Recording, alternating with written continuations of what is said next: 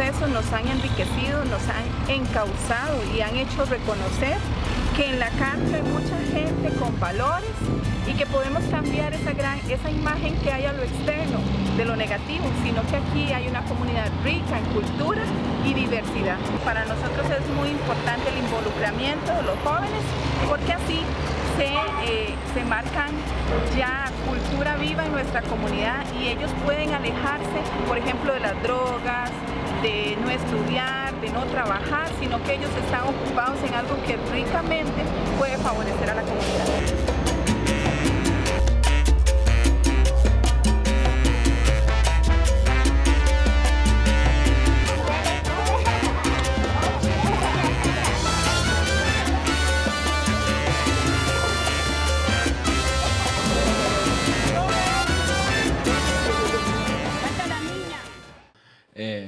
Muchas gracias por haberse llegado hasta acá, hasta este maravilloso lugar, la Escuela Casa del Artista. Eh, y la verdad, Frecia, lo que, una cosa que, tengo que reconocer y admirar en, el pueblo costarricense son las instituciones culturales. La verdad que cada una de las instalaciones que hemos visitado son una envidia para, el resto de los países porque eh, han puesto en valor, se nota muchísimo, eh, estos espacios eh, ligados al arte y la cultura con la importancia que tienen para el desarrollo de nuestros pueblos.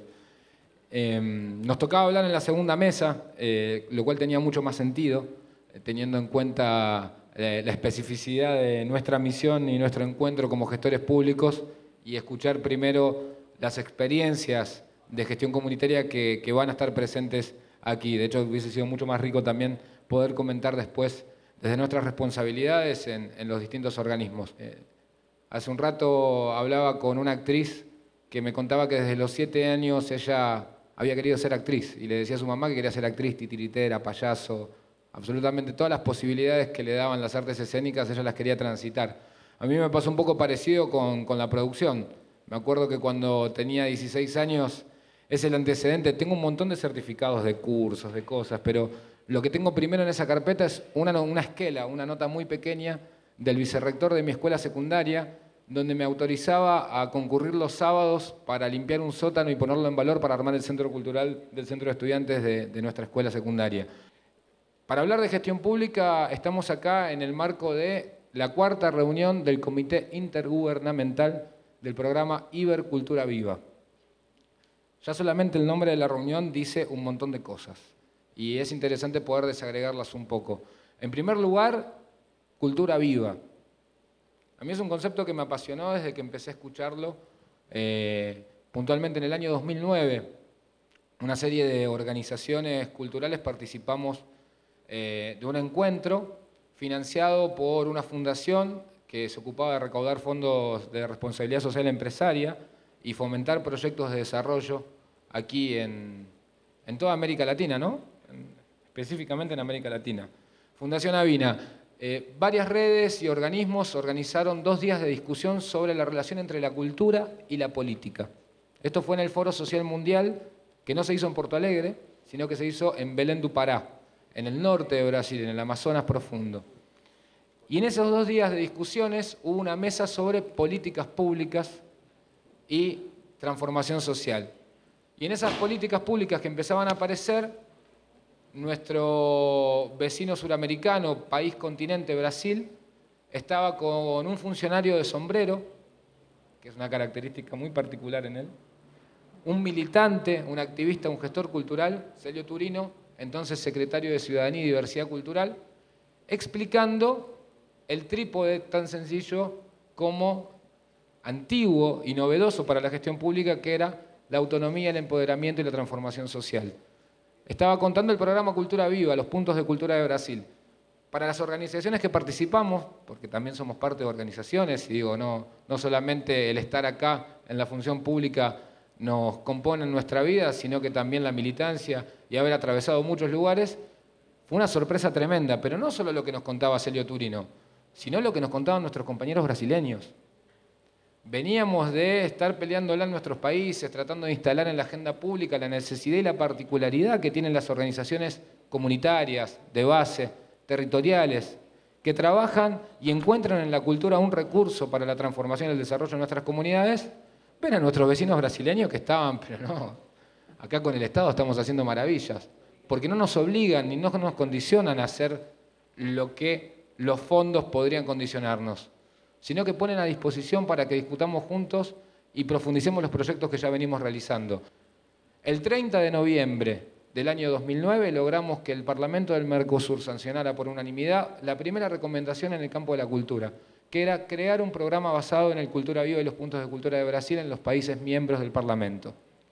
Un mes antes, con el empuje también gubernamental de Brasil y de todas las organizaciones eh, en torno a la Comisión Nacional de Puntos de Cultura en el segundo Congreso Iberoamericano, aquí en Costa Rica fueron sede del cuarto, que se llamó Cultura Viva Comunitaria. El sexto, perdón. El cuarto fue en Mar del Plata, fuimos nosotros.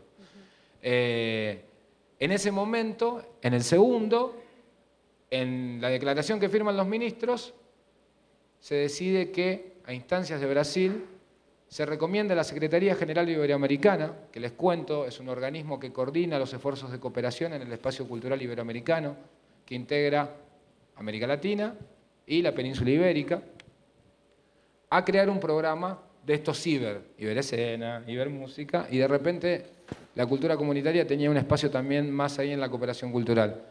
Se instaba a que creemos el programa Ibercultura Viva.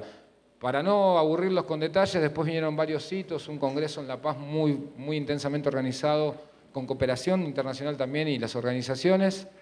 Y en la cumbre de Panamá, en la, vigésimo tercer cumbre de Panamá de jefes de gobierno y Estado, se decidió crear este programa Ibercultura Viva que empezó a funcionar en 2014. Nuestro programa lanza convocatorias. Costa Rica ha sido beneficiaria con dos proyectos que están en ejecución ahora, en este momento, de la primera convocatoria del programa. La reunión que acabamos de terminar acaba de dar mandato para una serie de acciones que van a llegar hasta mayo de 2017, junio de 2017, en la que seguramente las organizaciones costarricenses también podrán participar. Y también los y las costarricenses podrán participar porque una de las cosas que decidió este comité intergubernamental es tener una línea de acción para que todos y todas puedan participar, tratando de traer los relatos, las voces, las ideas de nuestras mujeres, en esta oportunidad después serán otras. De modo que eh, celebramos mucho el encuentro, les agradecemos para cortar un poco, invitamos a que entren a la página web, la página web es iberculturaviva.org, ahí tienen no solamente información actualizada de las convocatorias que el programa tiene, sino también eh, un centro documental un centro, eh, un reservorio donde hay trabajos, libros, publicaciones, entrevistas, un montón de elementos materiales que pueden contribuir a su trabajo cotidiano y que esperamos también que puedan enriquecerlo enviándonos sus propios trabajos, reflexiones, ideas o cuestiones que tengan que ver con esto que llamamos de cultura viva comunitaria y que tiene que ver mucho en la forma en cómo eh, hacemos, vivimos, y nos recreamos en nuestros espacios, en nuestros territorios y con nuestras relaciones y afinidades. Muchas gracias. Cada vez que se reúne el comité, hacemos un foro como este. Esta es la cuarta reunión y en cada país, en Chile, en Brasil, en El Salvador, hemos hecho una reunión como estas, porque decimos, ¿cómo vamos a hacer una reunión de Ibercultura Viva que habla de dinámicas culturales comunitarias sin tener un espacio de diálogo con la gente de las organizaciones socioculturales, con los gestores culturales, con la gente de las comunidades. Trabajamos juntos con la gente a través de las becas taller. Por ejemplo, doña Carmen ha sido una becaria a través de los puntos de cultura y también a través de los procesos de acompañamiento, asesoría, formación que realizan los compañeros en las regiones, en las casas y centros culturales. Ustedes saben, la Dirección de Cultura tiene dos programas, promoción y fomento. Y en fomento está Puntos de Cultura, pero también está Becas Taller. Y Becas Taller no requiere personería jurídica, puede ser una persona, un gestor, y eso nos permite llegar a los rincones más profundos que si pusiéramos muchos requisitos, pues definitivamente no tendrían acceso. En estos últimos tiempos, digamos, desde que yo estoy en la dirección de cultura y desde antes, como unos seis años antes, empezamos a preguntar y ahí les, les repartimos un folletito que se llama Gestión Cultural y Empoderamiento Comunitario. Empezamos a preguntar cómo creen ustedes que pueden generarse mejores condiciones para el empoderamiento comunitario y eh, cuál es el camino a seguir. Porque ustedes saben que lo que ha cedido el gobierno siempre es llevarle cosas, por decirlo así, a la comunidad o no llevarle. Pero nunca nos hemos preguntado cómo puede ser una relación diferente, cómo puede ser una relación de colaboración donde se reconozca que las comunidades, que las organizaciones tienen cosas que decir acerca de qué hay que hacer y cómo hay que hacerlo. Y cuando hablamos de empoderamiento comunitario, es que la gente sabe lo que quiere que la gente sabe dónde va y entonces el Estado estira los recursos para tratar de acompañar de la mejor manera lo que la gente organizada ya quiere. Estamos hablando también de otra palabra que es autonomía, que tiene que ver con una independencia del Estado, porque en las prácticas políticas históricas siempre el Estado daba, pero a cambio pedía demasiado. Pedía lealtad, y no era un Estado abstracto, era un gobernador, un alcalde, era un funcionario que pedía lealtad para su partido político, que quería yo te doy pero si me das y que muchas veces estaba eh, muy marcado por un acto de corrupción. Y entonces cuando hablamos de empoderamiento, hablamos de, de, autonomía también, porque tiene que ver con cómo se construye una relación desde el respeto, desde la escucha, donde cada quien tiene su propia identidad, su propio proyecto y logra construir una alianza con el otro, pero transparente y sin que haya oportunismo de por medio.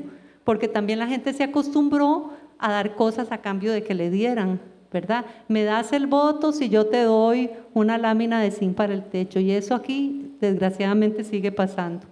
Estar juntos en el programa Ibercultura Viva nos está permitiendo dar algunas discusiones y decir, qué es una política de cultura de base comunitaria y qué no. Entonces yo me atrevo a proponer algunos criterios de lo que sería una política de base comunitaria a partir de lo que es la experiencia de la Dirección de Cultura y también de lo que queremos transformar en la Dirección de Cultura. Entonces creo que una política de base comunitaria tiene que permitir un acercamiento de los gestores públicos desde la escucha y el respeto a la sabiduría y el conocimiento de los grupos y las comunidades. Es decir, no es el gestor público el que sabe y le lleva a la gente. Es una relación de mucho mayor equidad.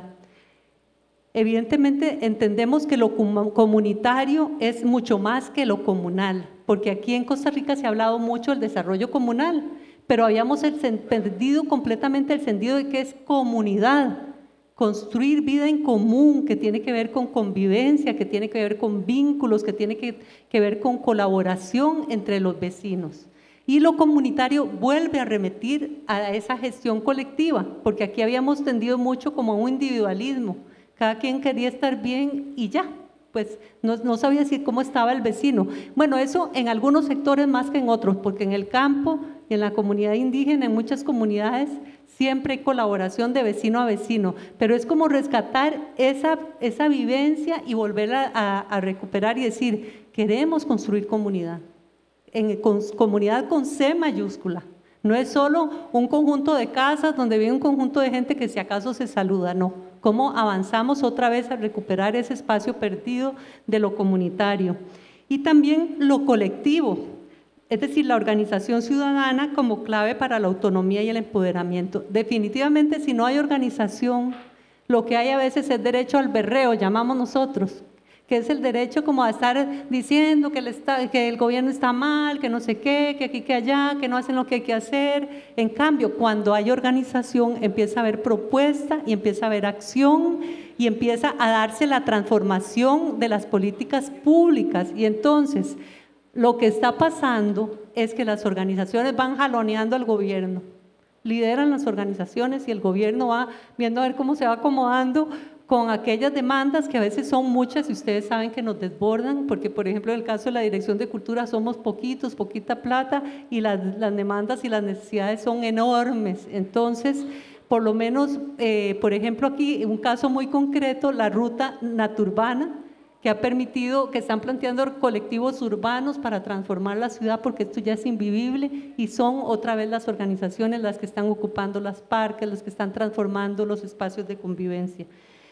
La transparencia y la equidad, evidentemente, informar y tener como de manera muy transparente y darle a una apertura a todos para que puedan participar del acceso a la formación, a los fondos, etcétera, también creo yo que es parte de las políticas de base comunitaria, la desconcentración de recursos, que sea de frontera a frontera, que no esté concentrado en el Valle Central, que haya inversión, que haya recursos directamente orientados a fortalecer las organizaciones comunitarias y que haya trabajo conjunto. Evidentemente el trabajo conjunto requiere reconocer al otro y a la otra como un socio en la búsqueda del bien común y requiere como nos recordaban en la reunión las compañeras del Movimiento de Cultura Viva, generar espacios de confianza, porque si no hay confianza, ¿cómo vamos a avanzar? Entonces, eh, un diálogo para poder diseñar esas, esas eh, agendas conjuntas, esas estrategias que nos permitan avanzar.